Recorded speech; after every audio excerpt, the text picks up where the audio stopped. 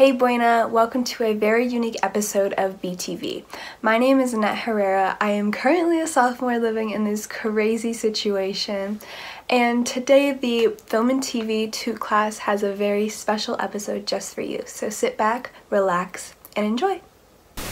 Like many schools, athletics are a huge part of the curriculum. But with all of this coronavirus stuff happening, what's going on there? Take a look. Hi everyone, BTV hopes you're having a wonderful day. We hope this abnormal return to school has given you hopes for the future of Buena. As most, if not all of you know, we were initially supposed to start a hybrid schedule in August. However, due to the spike in COVID 19 cases taking place in Cochise County in July, we couldn't risk going back to school. Fortunately enough, the cases did start to go down in September, allowing schools to follow through with the hybrid schedule as planned in August. Well, better late than never, but how about for the future of Buena, you may be asking? Thankfully, football was able to continue back up again.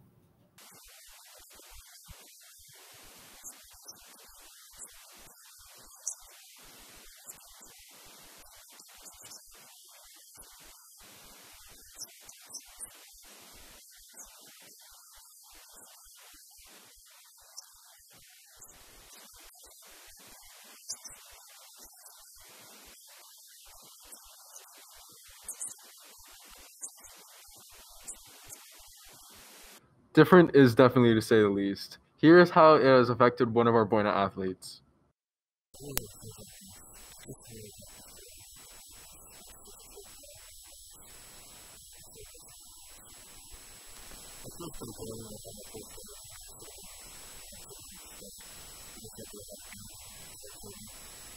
It's nice to see that sports have been able to continue in this unusual time. We hope that everyone stays safe and healthy. And the best parts about Buena is all the classes that they have for students to take.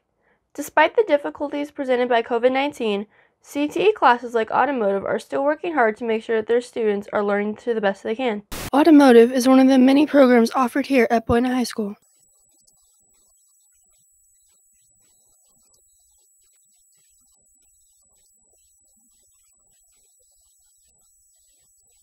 But like every other program, auto has faced changes to the way they work during this pandemic. Uh, my favorite thing about auto that would be the uh, hands-on thing that we get to do because we get to actually work on it and touch things.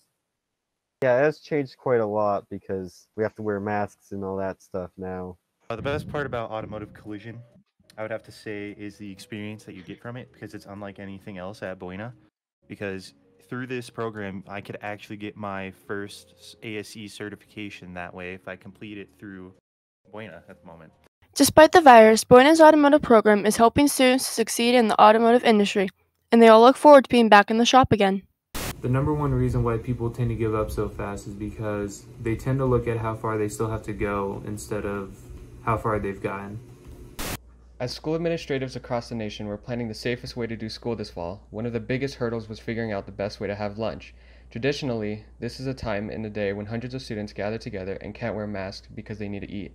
So for Buena, this had to come up with a creative solution in order to make this school year possible.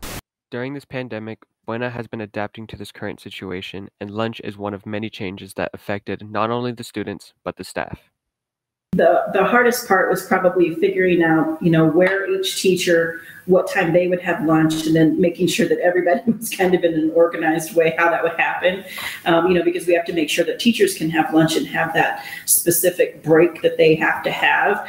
Um, so that was probably the most difficult part was just arranging the bell schedule and and how many times the bell is going off during the class period um, things like that. The staff had a difficult time knowing when and where students needed to be at lunch, but how does this affect the students?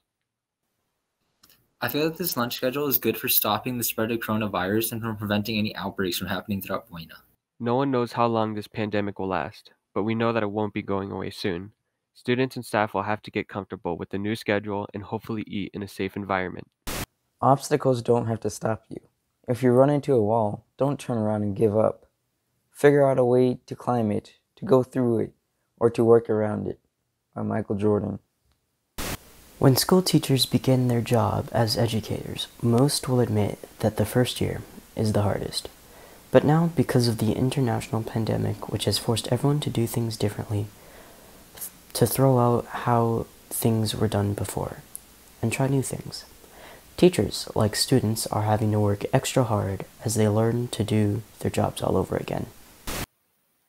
Teachers all around Buena are having a struggling time finding ways to work around online and hybrid learning. It's not fun because uh, science is one of the more the more uh, hands-on learning classes. So um, doing experiments virtually is really difficult. During this time, our science teachers have been gaining more and more info on how the coronavirus works. They've been finding ways to take that info and turning it into lesson plans for students to learn. Interesting thing about um, the COVID 19 situation is you're seeing science in action. And that's something that the public normally doesn't see. They see the end result. And um, when science is working, you're constantly looking at and reevaluating your hypothesis that you're working with. And so things are constantly changing. And so that's normally been hidden from the public eye. And so now in this situation, you can see that. And that causes people to like, like, well, what's going on? They said this, now they're saying that. Um, but that's all naturally the part the course that science takes. Um, just normally we go through that process and then we like, oh, wait, no, it's this, no, it's that. And then when the public gets to see it, we've already gone through that and we've got it, no, it's this. Hey guys, I'm Pam, just reminding you to stay positive, and life is like a camera. Focus on what's important, capture the good times, develop from the negatives, and if things don't work out, take another shot. With everything that has happened this year, sometimes we need to let loose and have some fun. With friendly competition, of course. We have a good show to show you guys next. It was something fun filmed between the culinary and film TV class.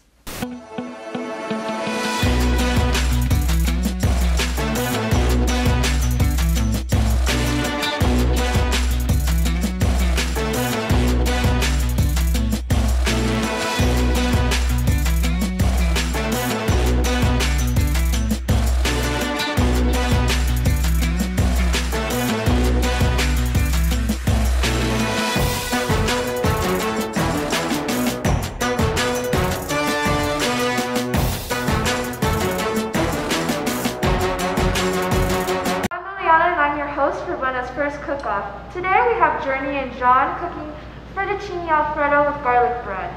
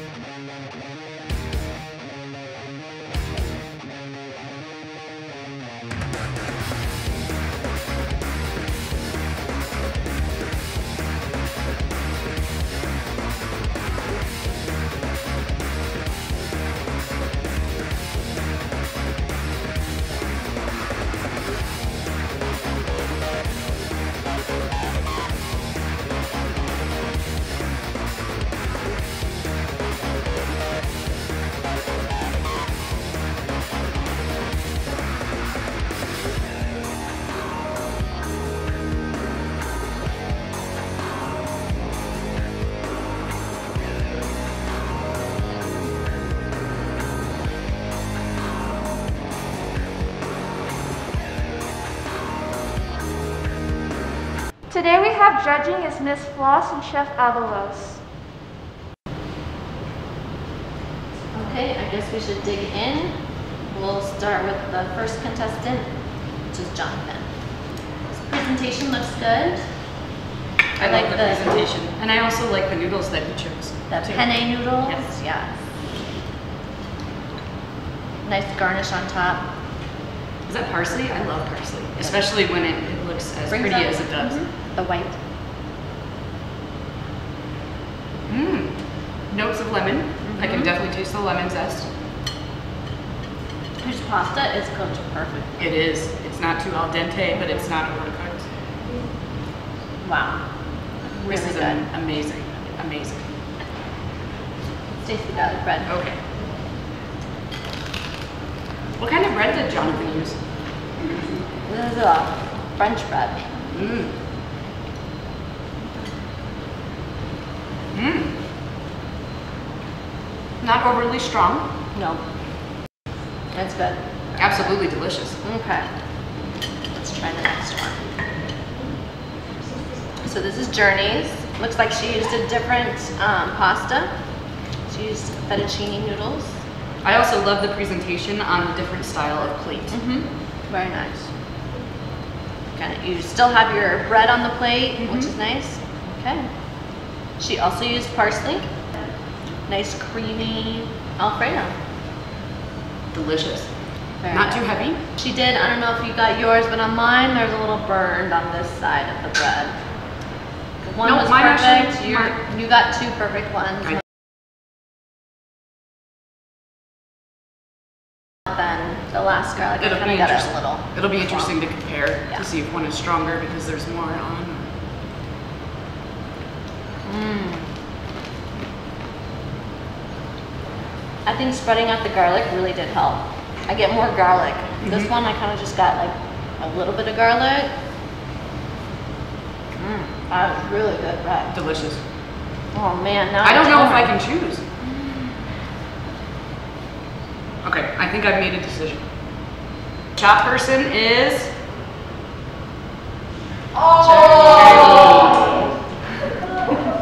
I still love you, man. Okay. Journey, your garlic bread Perfect. tastes beautiful. So I want it, Journey's garlic bread and John's pasta.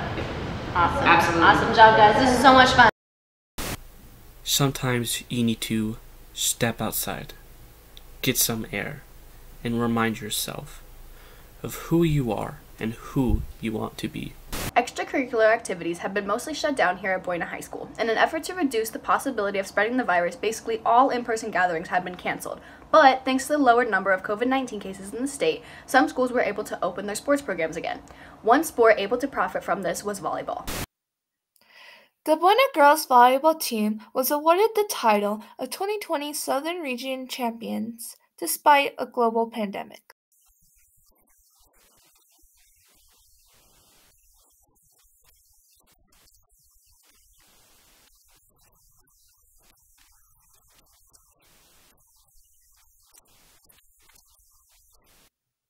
Emma has been playing on the volleyball team throughout all of her years of high school.